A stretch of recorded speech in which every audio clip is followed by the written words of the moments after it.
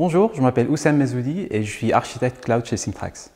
Euh, je suis arrivé à Simtrax en 2019 en tant qu'ingénieur clientèle et j'ai eu l'opportunité d'évoluer, monter en compétence pour euh, devenir architecte cloud. Mon rôle consiste à faire évoluer notre architecture cloud d'une manière générale et cela m'implique dans différents projets euh, des différents chefs de produits. En collaboration avec nos équipes en Inde, on essaie de comprendre le besoin afin de concevoir l'architecture à adopter pour ensuite déployer nos services dans le cloud, des applications web, API, des machines virtuelles et s'assurer que ça corresponde bien euh, à l'environnement existant et optimiser euh, les performances euh, tout en garantissant la sécurité de données. Les environnements et technos que j'utilise au quotidien sont principalement des technos Microsoft. On trouve Azure, DevOps, Visual Studio et SQL Server.